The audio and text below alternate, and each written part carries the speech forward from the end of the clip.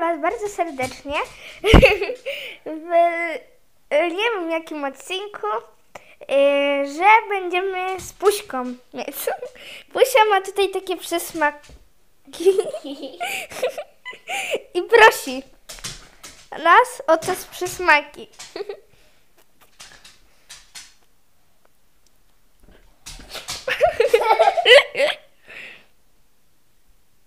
Zobaczcie. Ona będzie prosić nas o takie przysmakołojki. Niom, niom, zjem sobie kostkę.